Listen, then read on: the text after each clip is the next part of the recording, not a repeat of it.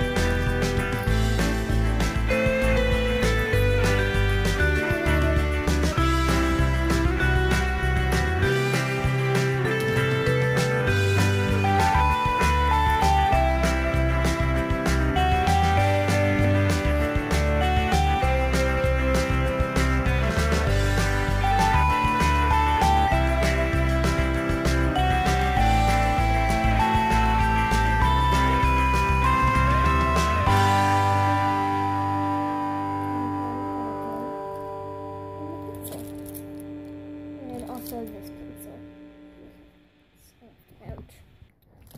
I'm gonna totally take one of them R2 Blast old pins just for.